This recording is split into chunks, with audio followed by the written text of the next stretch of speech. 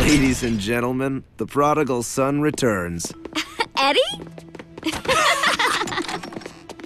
Oh, great to see you again. Where have you been, mister?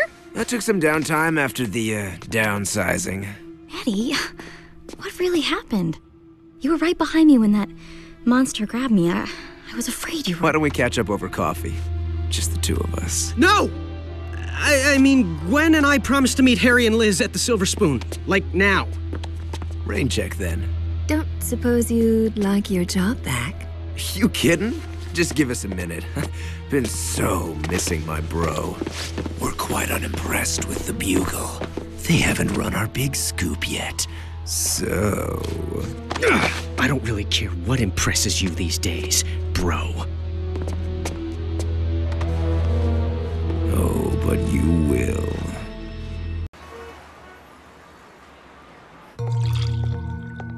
Perfect. Like you never left.